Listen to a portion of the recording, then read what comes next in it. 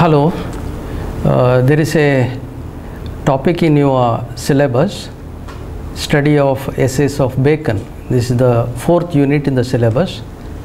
I like to give you a short introduction to the essays and particularly to Bacon. When we talk about Bacon, we certainly talk about the development of English prose. Bacon, uh, of course, has contributed so much for the development of English prose.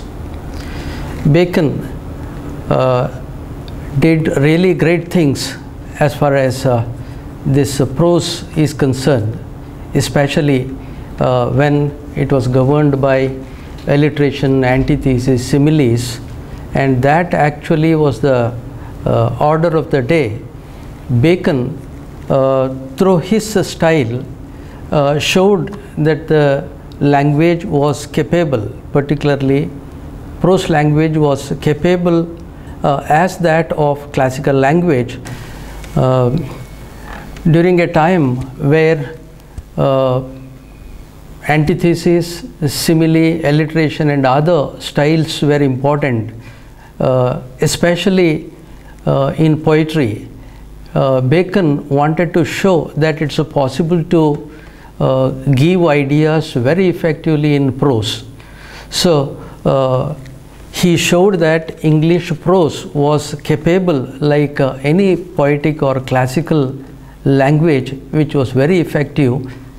And he was living in uh, the Renaissance period, the Elizabethan period, where uh, he used the uh, prose language and very effectively communicated all the subtleties of thoughts in a very clear and uh, uh, very straightforward manner.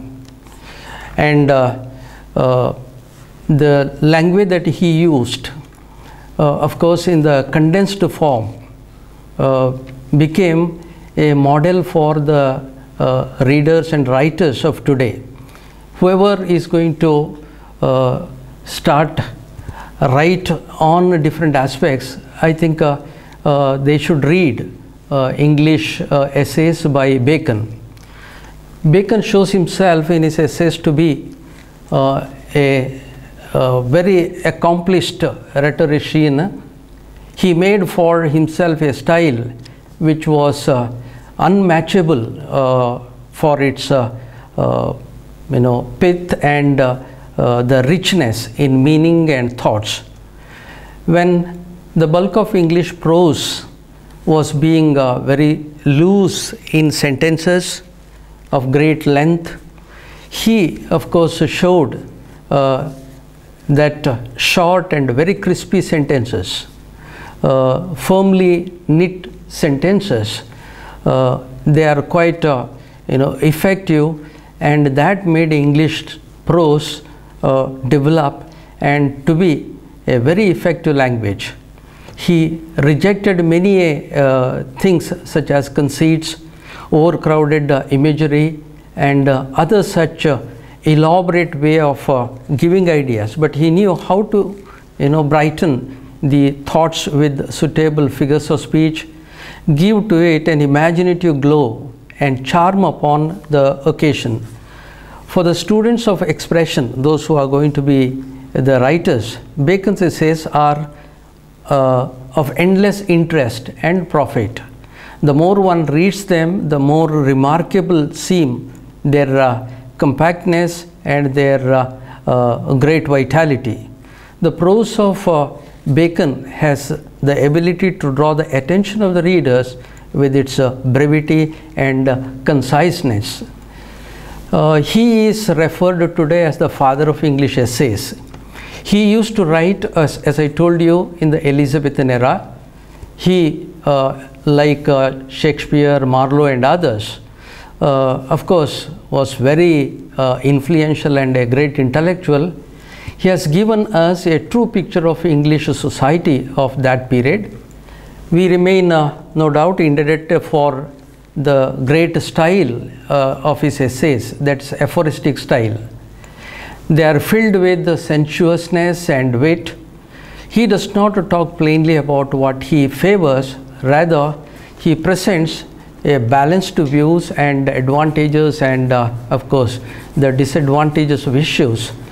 Uh, some of the uh, characteristics of his prose, if we can list out, they will be the brevity of the language, short and concise sentences, uh, parenthesis-less sentences, uh, presentation, clarity, rhythm, rhythm and uh, coherence, uh, aphorism, aphoristic style, and uh, all the themes are related to worldly life.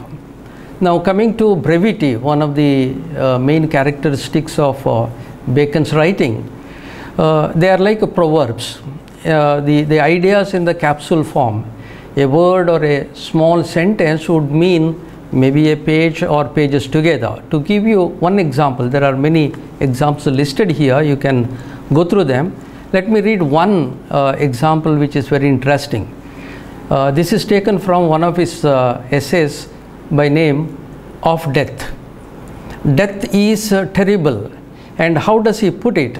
It's like this groans and convulsions, and a discolored face, and friends weeping, and blacks and obscures, and the like show death terrible. So, in one sentence, is able to uh, give that atmosphere where all of us feel afraid of death.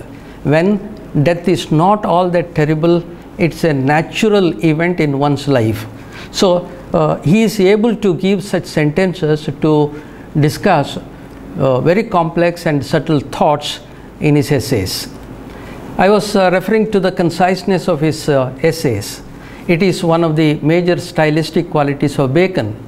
He uses, as I told you, short and concise sentences. His purpose is to explain his philosophy in lesser words. We hardly find any essay which is too long. It's easier for him to cut short long sentences. A message which requires a paragraph, of course, uh, uh, he can convey it in fewer words and that too without losing its meaning. Scarcely any other writer of his era has this kind of ability. In short, he keeps his uh, subject focused, clear, and concise. So, similarly, the unnecessary details, sometimes we give him those details within the parenthesis. He avoids them, and uh, the clarity that he has in the style, in the, in the presentation, clarity in prose style of uh, Francis Bacon is another important thing. And there is rhythm, there is coherence, and of course, most important is aphoristic style that I told you, which is a combination of epigram, straightforwardness, truthfulness, impartiality, impersonality. All these qualities are present in his essays and these make prose style of Francis Bacon, Bacon charming as pointed out by F.G. Selby. Thank you.